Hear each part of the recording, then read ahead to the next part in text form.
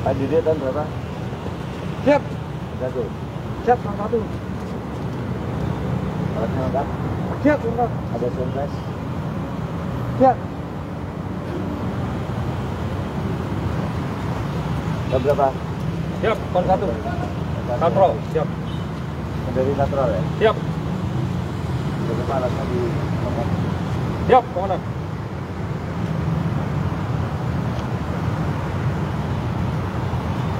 Pengawal kendaraannya pak? Siap. Oh melakukan berapa juga?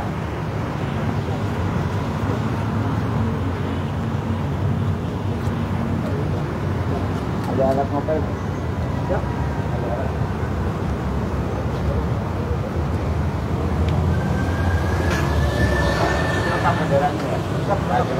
Ya? Ngecek dulu jangan sampai diapel. Ya, kayak bisa itu. Ya, ya. Ada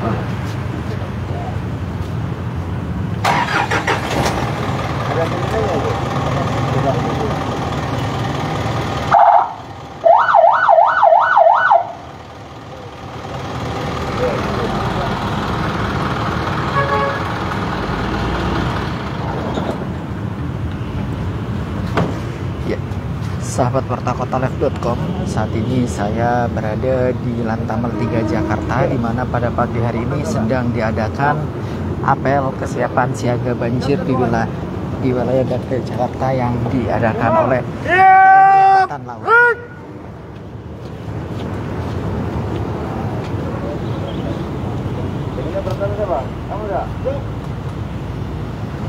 Berapa orang yang naik mobilnya? Siap. Mesin. Sepuluh orang mesin. Dua orang. Siap. Lengkap alatnya. Siap. Dua pelampung ya. Siap. Siap. Mesin. Anggota Siap. 31. yang kamu ya? Siap. Ya. Siap. Oh, siap. Sebagai apa? Minta. Negaranya pada tuh evakuasi. Yuk.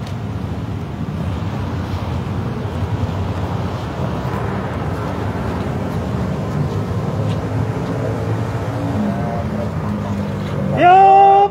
Wih. Ted, tahun berapa?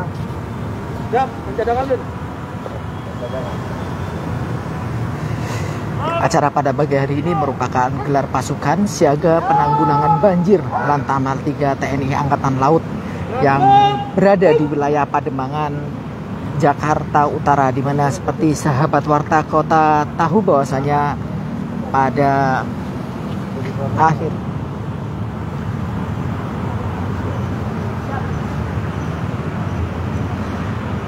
pada bulan Oktober ini memang Jakarta wilayah untuk DKI Jakarta sedang diguyur hujan lebat bahkan beberapa wilayah terendam genangan banjir.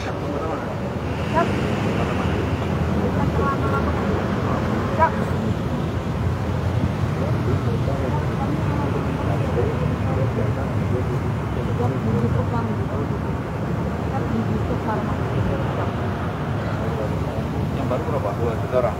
Siap tiga manajer. Siap untuk awalnya tiga. Siap. Tapi kendalinya di Nah, iya, tapi yang dicatat bang. Jadi untuk pengurangan dampak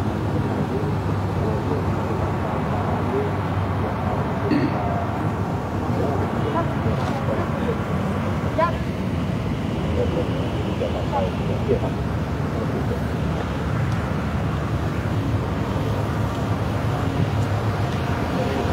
Siap.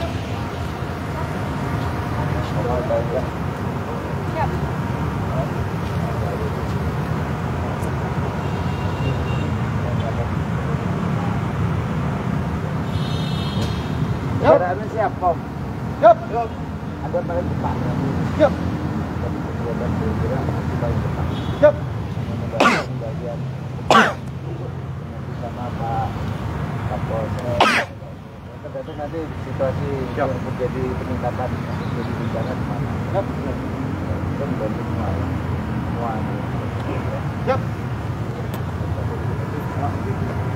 Ya. Siap, gerak. Siap. Siap. Siap. Siap, siap. Kita jadi tim ya. Siap. Tim pasukan Wilayah Siap. untuk penanggulangan Siap. semuanya gabung semua. Siap. Ya Pak, komandan sini. Kalau dari semua Siap. ikut terlibat. Siap. Masing-masing. Siap. Informasinya tolong keamanan dan keselamatan. Ya.